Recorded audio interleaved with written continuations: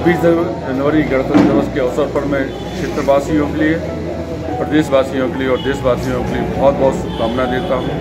हमारे नेता कमलनाथ जी के नेतृत्व में मध्य प्रदेश का सर्वांगीण विकास हो और मध्य प्रदेश का एक ऐसा इतिहास बने जो कहीं ना कहीं युवाओं के लिए जोड़ने वाला हो, उनको रोज़गार देने वाला हो, किसान को आर्थिक रूप से संपन्न करने वाला हो, महिला सशक्तिकरण के लिए बेटियों को शिक्षण देने वाला हो। अधिकारी कर्मचारियों को भी उनको संबल देने वाला हो। इस अवधारणा पे हमारे मुख्यमंत्री जी काम करें। और मध्य प्रदेश का एक सर्वांगीण और स्वयं भविष्य का जो हम लोगों ने परिकल्पना की थी, वो विकसित हो, वो हम लोगों का अवतरण हो, ऐसा हमारा